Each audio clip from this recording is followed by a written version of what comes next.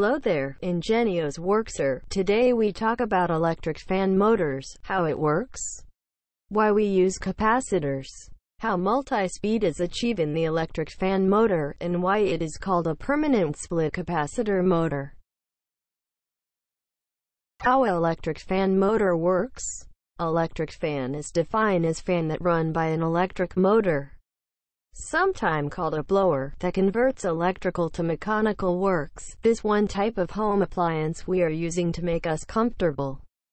Generally electric fan is single-phase induction motor run by AC current that produce a rotating magnetic field. This of type induction motor is called permanent split capacitor motor.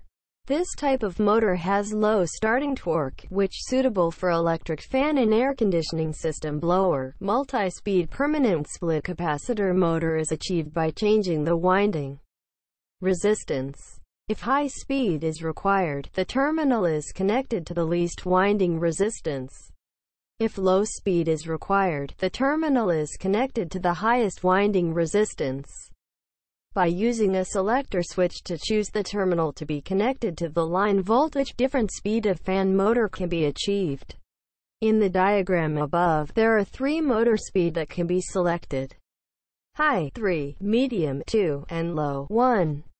The selection can be done by using electronic relays or a manual selector to connect L2 to one of the three terminals depending on the speed chosen. Permanent split capacitor motor also known as a capacitor run motor. This type of motor uses a non-polarized capacitor with a high voltage rating to generate an electrical phase shift between the run and start windings. Hope you enjoy this information. Like and subscribe for more information like this. Thank you for watching.